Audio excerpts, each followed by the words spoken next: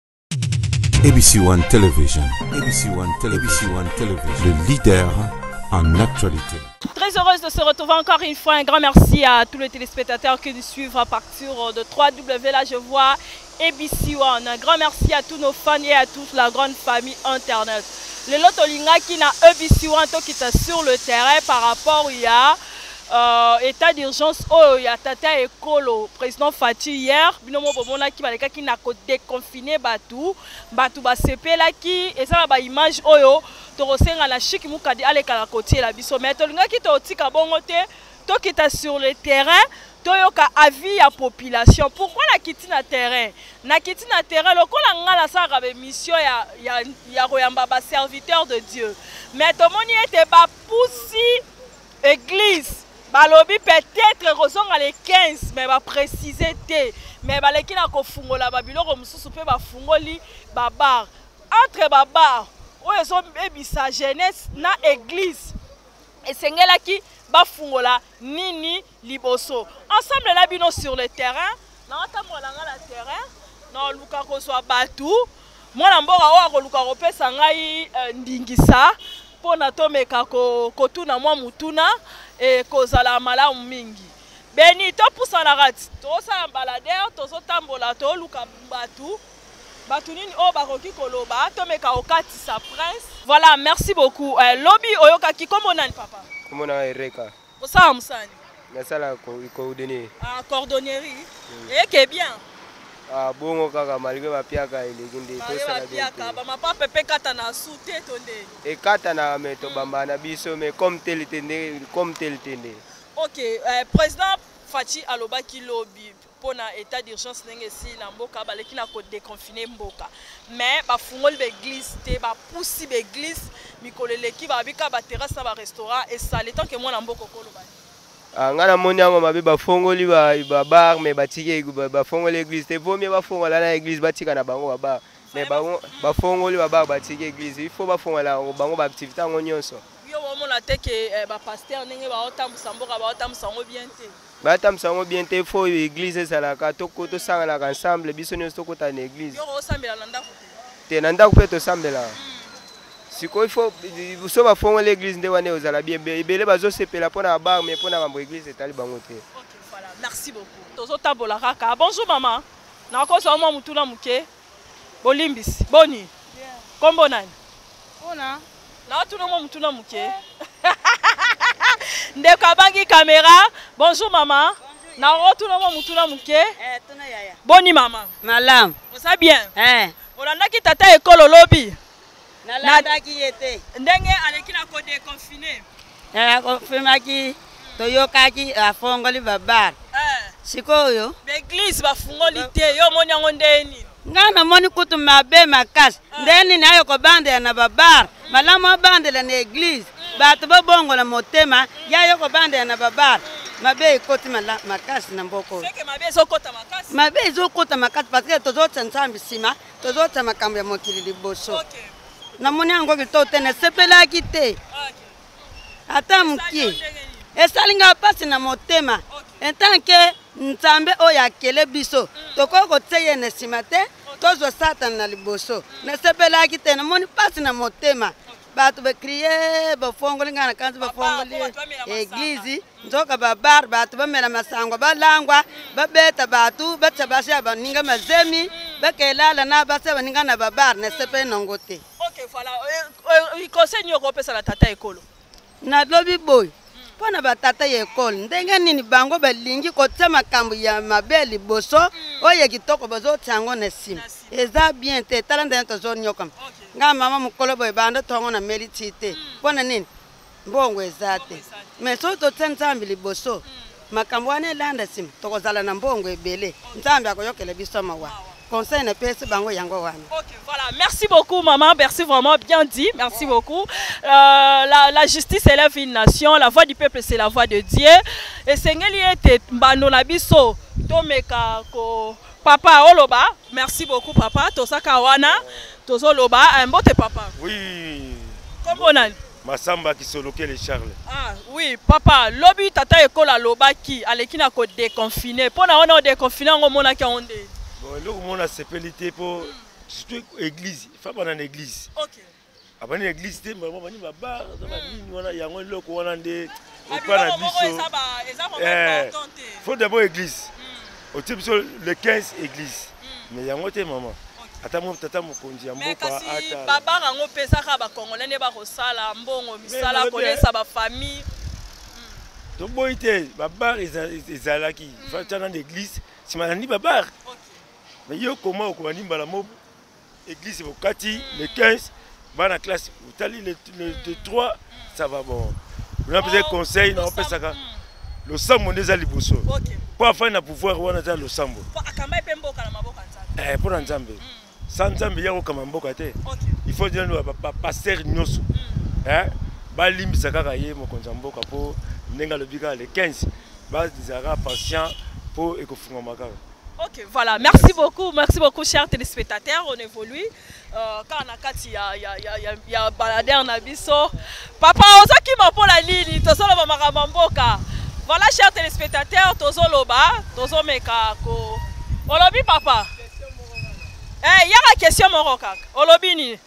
Eh, boni papa. Eh bien maman. Kombo nani?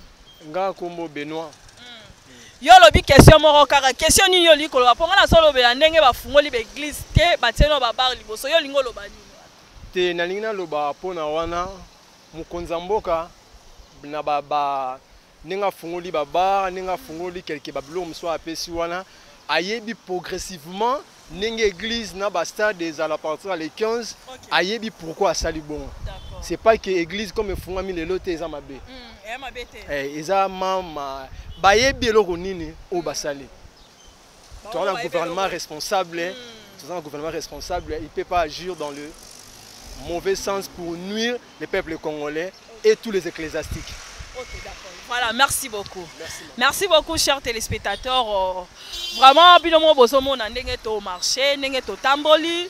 ndenge to koluka koyoka point de vue bato mosusu basepeli te pourquoi bazwi église batiki église nsima bato mosusu balobi fale bafungola église voilà bandeko babenga biso na ngambu kuna eh? bandeko babenga biso na ngambu tokatisa Et voilà, merci beaucoup. Car dans le cadre rara ya ya otambola tambola pour na memela bilo ba image to kutana ndeko ndeko papa boni. Bien maman. Boni yo. Naza vraiment très Kombo na Kombo Patrick.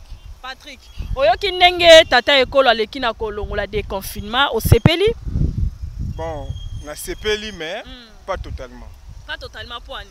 Parce que à déconfinement, à déconfiner ba mm. ba biloko mosusu mm, mais neti ba église mm. toki ke non à déconfiner yango te mm. mais neti ba bar mm. asali na ye bien parce que mm. na bar eza na ba bato basalaka kuna okay. na minute oyo ndenge ezalaki confini mm. confini babandaki kosala te okay. mais na minute oyo mm. ndenge déjà bazongisi bato mm. bazalaki na bandako ba barman ba okay. dj mm. baretrouve mosala na bango mm. parce que bango sans bar bakolia te okay. mais ndenge bafongoli bazolia esali bango bien obongo église mpo na yo efale entre église na bar faye bafungola nini liboso église e, église oui. parce que esalami vice versa c'est ça mpo na nini okoloba nini par là bon par là nakoloba asala effort mm. afongola mpe baeglise ok voilà merci beaucoup euh, voilà euh, motuna suka mpo tokende oh yves lwamba bosolo na politico voilà euh, bonjour papa bonjour maman boni Bien maman. Kombo nani? Kombo na nga Aaron.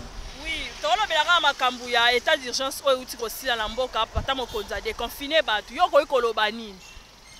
Nakoki koloba namoni namoni bien nde badeconfine ba hmm. mais ya mabe namoni kaka bafongoli babar mais baeglise bafongoli te fe babanda nao to na église apres babar to babandi na bafongoli nyonso mbala moko lelo ndenge classe ya bana toloba bapermettre kaka bana 6e na ya, ya, ya sixième oyo basala tenafec na bana ya diplôme mais baza na écart ya trois mois bafungoli baklasi sikoyo klase yango bana mosusu bakopasse bakosaute nazo comprendre est ce que place wana ministre ya, ya, ya enseignement vraiment baréfléchir bien araisonne bien te mama mm. namona mabe mpo ani mpo bazwi temps préparé te okay. bazwi ntango prépare te ebele bakoleka na nayebi te mosusu bakosala bango faveur moi mais bazwi ntango prépare te même bana te na fep même bana examen d'état bana 6e des humanités bazwi ntango prépare te bon wana namoni yango mwa bien te merci beaucoup oui voilà ndeko na cadre kaka ya koluka eh, bachaussette yango combien ah bo ba single ah ya solo esimba nango kopo yango moke moke moke kaka marke mboka yango nkombo nani nkombo na ngai mikael mikael mikael oba mwa makasi nkombo na ngai mika mika mika nangi natuna motuna moko ntango bauti kodeconfine awa lelo oyo ndenge okomona mboka ekokende mpo na bana kelasi oyo bako sotise bango classe mpo ba permettre kaka 6e na na nini oyo na bana oyo bakosala tenance fek 6e primaire bon mpo na ngai namoni ke hmm. ndenge bazongisi kaka bana wana hmm. eza bien te senga fo bazongisa bana nyonso mpo na vie ya mwana eza école ntango mwana bandi deja mokie hmm. akola esenga fo azala na classe mpo azala na mayele ke na otambola boye na ozala boye nde bazongisi bamikolo bongo esali nga bien te ma soki nzambe asepela soki nzambe asala grâce bazongisaka mosusu wana bongo mpo na église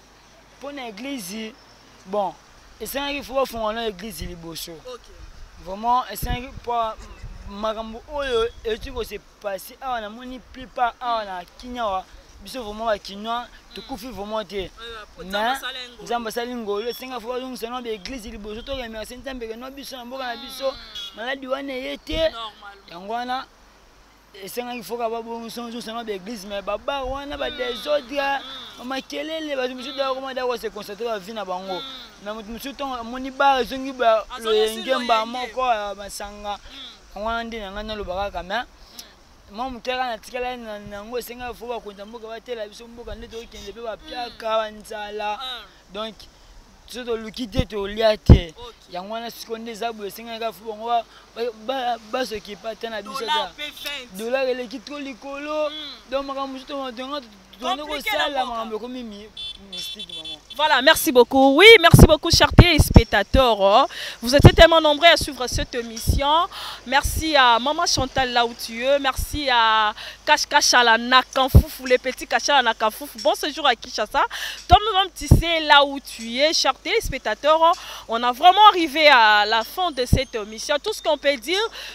tolingaki tokita mpo na koloba koyoka vie ya population après déconfinement après koyoka tata ekolo après nini oyo euh, nini oyo état d'urgence sanitaire oyo ezalaki na kati ya mboka mais on peut dire pourquoi préférer euh, le bar les restaurants à part l'église parce que ndenge towuti na mboka oyo malgré malade ezalaki na kati ya mboka mais tokufi te ndenge bayini nga bakufi na états-unis bakufi na italie bakufi na chine esengelaki tata ya ekolo afungola nanu église tokende kosala prière ya action de grâce toke tosambeli toadore nzambe Topesi Nzambe merci na ndenge abateli République démocratique du Congo elingaki ezala pena motindo malamu. Ngai nani oyo natelemela makambo oyo tata ekolo akoloba me topesi kaka bapoint de vue na biso mpo toya bacongolais esengeli mpe bakonza mboka bayoka population la voix du peuple c'est la voix de dieu merci on se retrouve prochainement